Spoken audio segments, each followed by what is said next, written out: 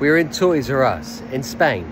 We're lucky because it's closed down in the UK, but in Spain it Oh, hasn't. Now, story. William initially wanted some Lego. However, that's all changed now because the one thing the one thing we don't like in our house is slime.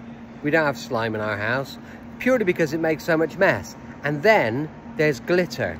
We don't have glitter because everybody knows glitter makes loads of mess. Oh, of course.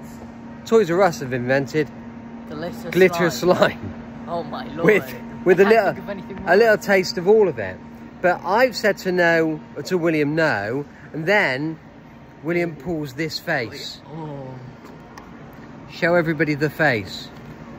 That's not it. That's not it. No, I need the. Se- That's oh, the. Oh. so William, He does. William's pulled that face. George is trying to pull it as well.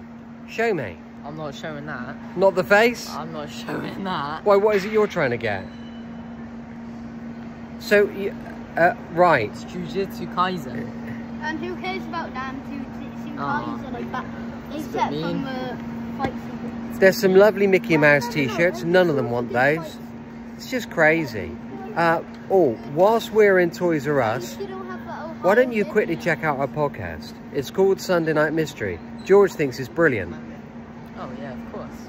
If it means I get this. Otherwise, I'm changing my whole opinion on it.